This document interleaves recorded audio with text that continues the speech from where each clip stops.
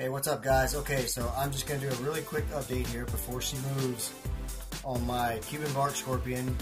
As you can see, the scorpions are starting to molt. So that means that I'm getting ready to separate them out so that the mother doesn't eat them. There's two, two little babies right there, already off of mama's back. And then, of course, there's the rest of them over here, and you can see the molts all over her back and tail. So that is really cool. I'm super excited about that.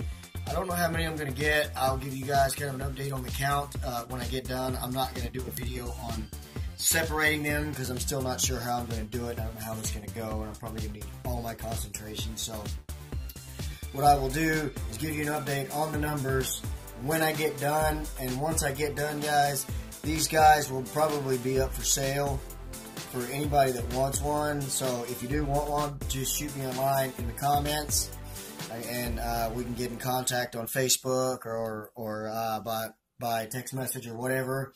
I'm starting to spook her, so I'm going to go ahead and end this video and start separating some babies. I really hope you enjoyed this video.